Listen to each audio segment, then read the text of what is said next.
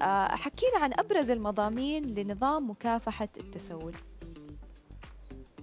نظام مكافحة التسول طال عمرك هو نظام يعني آه، آه، يعني النظام استطاع أن يصاغ بطريقة تراعي الفئات الضعيفة.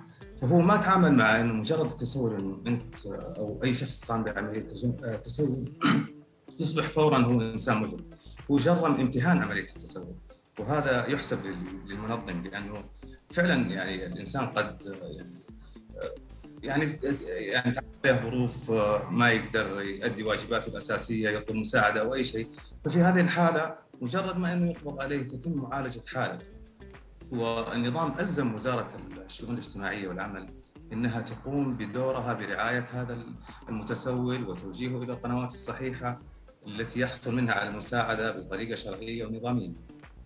ومن أبرز العلامات في النظام هذا انه إنه يعني يتعامل مع عملية التسول بطريقة رحيمة جدا لكن حازمة في نفس الوقت. وعالج أوضاع المتسولين وفرق بين المتسول المواطن والمتسول الأجنبي.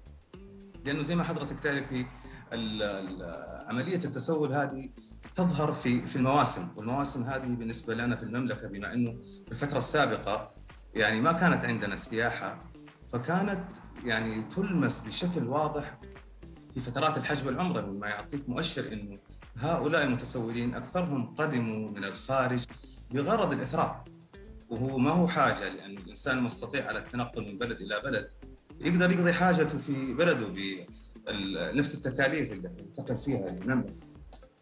فالنظام للأمانة يعني كان نظام عادل وكان رحيم جدا وفرق بين الإنسان المحتاج حقيقة وبين الإنسان الممتهن للعملية هذه لقصد الاثراء.